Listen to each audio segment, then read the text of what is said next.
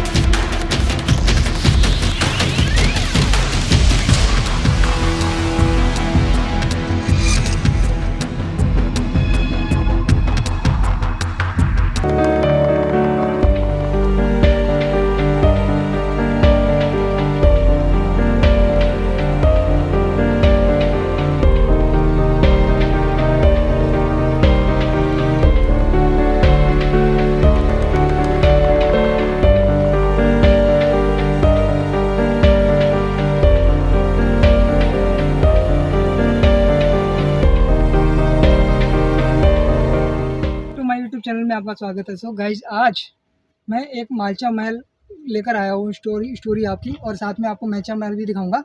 तो सबसे पहला पहले मैं आपको होली की हार्दिक शुभकामनाएँ हमारी यूट्यूब फैमिली की तरफ़ से और आप नए सब्सक्राइबर जुड़ रहे हैं तो आपको भी हमारी होली की तरफ़ से शुभकामनाएँ। सो so, आज मैं एक मालचा महल आया हूँ यहाँ पर और हम इसको एक्सप्लोर करेंगे और साथ में इसकी स्टोरी में आपको बताऊँगा। स्टोरी में कुछ ऐसी है कि मैं आपको दिल्ली दिल्ली का जो है सबसे बड़ा ये मालचा महल है जो सबसे हॉन्टेड प्लेसों में से सबसे ज़्यादा पहला नंबर पर डरावना जगह है ये इसको कहते हैं मालचा महल। जो मालचा महल में तुगलका वंश के तीसरे शासक फिरोजा शाह तुगलक ने 1325 में में इसे बनवाया था। इसे दिल्ली का सबसे घने जंगल का हुआ करता था। जो कि तुगलक शिकार ये जगह जो शिकारी करने के लिए बनाई गई थी जगह। और इस, यहाँ पर, और एक जो तुगलक को शिकार करने का शौक़ था। तो धीरे धीरे उन्नीस सौ पचासी में बेगम विलायत महल ने के नवाब शाही परिवार के सदस्य होने की दावा करते हैं। बेगम विलायत जो है, आजकल के तुम्हें तो पता ही है, पुराने जो नाम होते हैं, कितने डिफ़िकल्ट होते हैं, इनको बोला भी नहीं जाता। बेगम विलायत महल ने खुद इसे आवाज़ नवाब रहे शाही परिवार के सदस्य होने के दावा किया है। इसके बाद यह अपने बेटे और बेटी के साथ इस महल में रहने लगे और बेगम विलायत महल के जा, के जाने के बाद महल खाली स्थानीय लोगों को मान्यता ये है कि आज भी बेगम विलायत की आत्मा जो है वो भटकती है।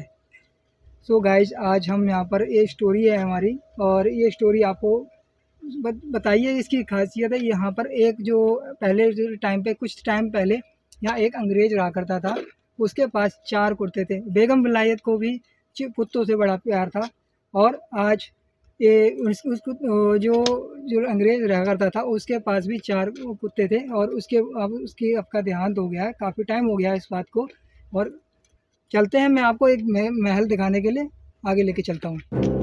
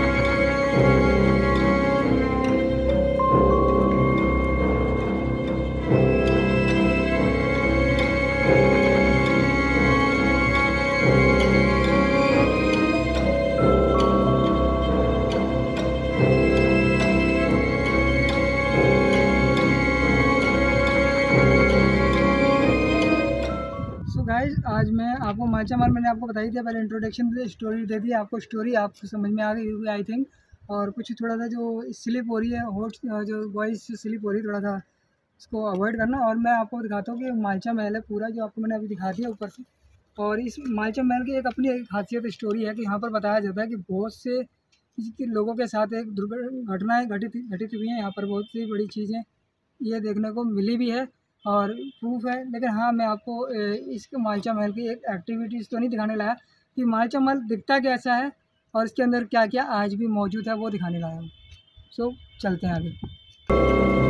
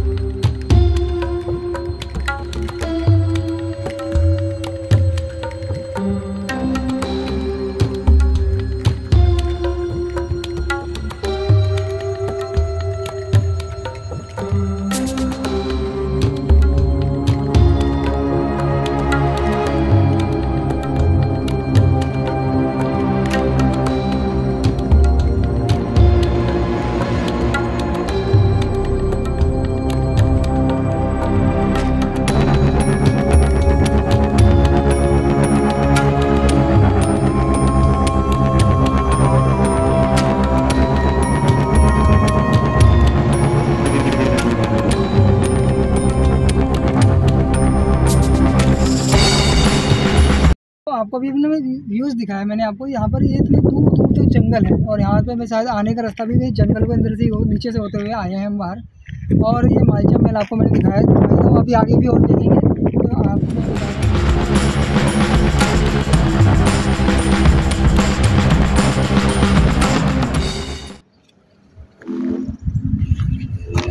भाई, किसी चीज़ को भी हाथ मत लगाना इधर।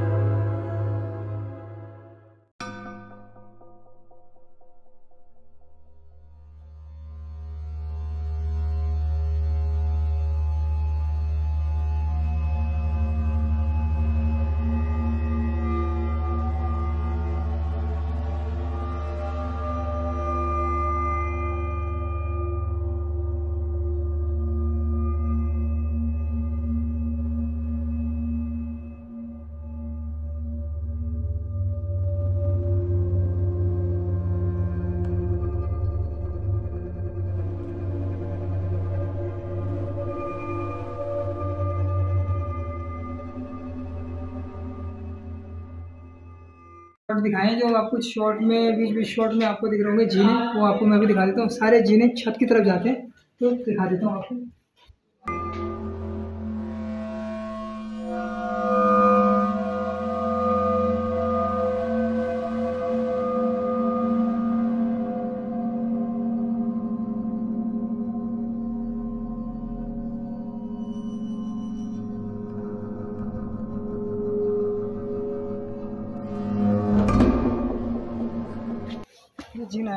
सारे। जितने भी ऐसे जगह जगह दिख रहे हैं ना आपको ये जीने ही हैं, इन सब का जीनों से कनेक्शन है और हमेशा ये नीचे की तरफ़ से ही ऊपर आते हैं और ऊपर कुछ खास है नहीं।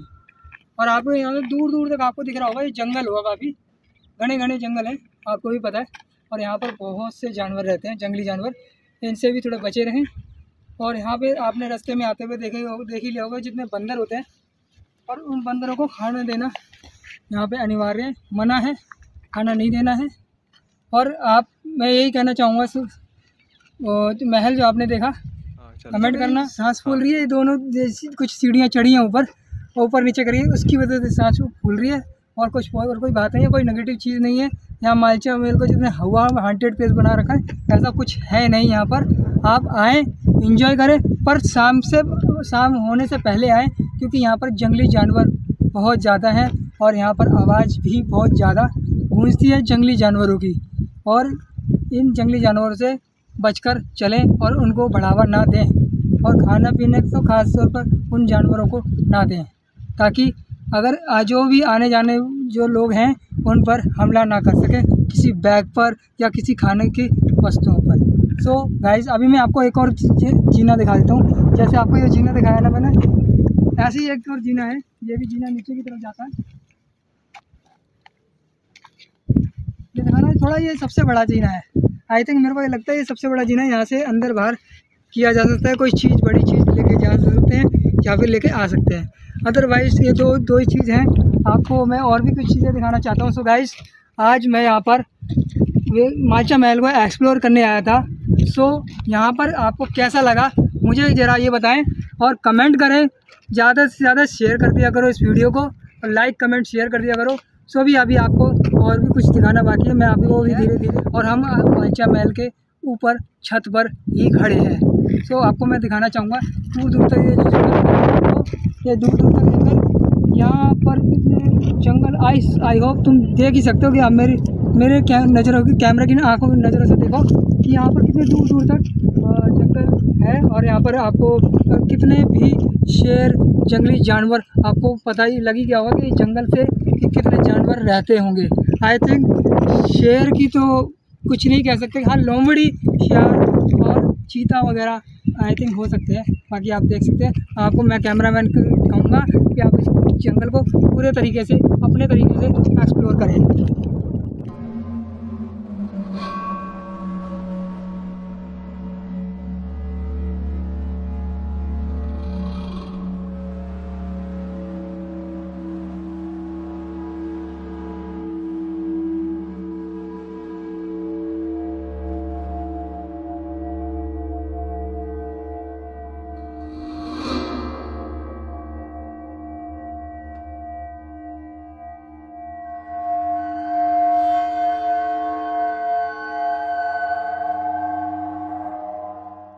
आपने मालचा महल आपने देख ही लिया होगा। सो so, मैं आपको ये मालचा महल एक्सप्लोर कर ही दिया है। मैंने आपको आपको देखा होगा कि यहाँ पर कुछ ऐसी वारदात जो भी आपको हॉन्टेड प्लेस जैसी किसी चीज़ें दिखाई देती हों। तो मुझे कमेंट करना अगर आप इस वीडियोज़ के माध्यम से आप देख पा रहे होंगे कि आप इस वीडियोज़ के अंदर आपको कुछ ऐसा हॉन्टेड चीज़ें दिखी हों तो मुझे कमेंट करके बताना।